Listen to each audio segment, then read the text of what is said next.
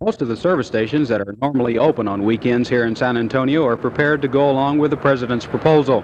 In fact, most of the motorists we talked to today said they'll get their gasoline some other day. However, more However, most of the service station operators seem to think that there is a gasoline shortage and these measures will only conserve what's on hand. In fact, some of the stations, just to stay in business, are advertising that they do more than just pump gas. Carlos Aguilar, TV4 Big News on the scene at a local service station. Okay. However, most of the service station operators believe that there is a shortage of gasoline and these measures will only conserve the precious fuel.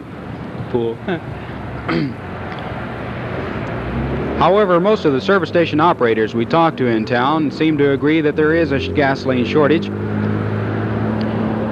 However, most of the gasoline ser-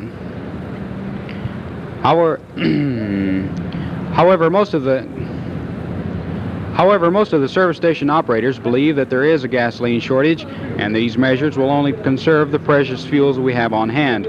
In fact, some of the stations to stay open on weekends are advertising that they do more than just pump gas. Carlos Aguilar, TV4 Big News on the scene at a local service station.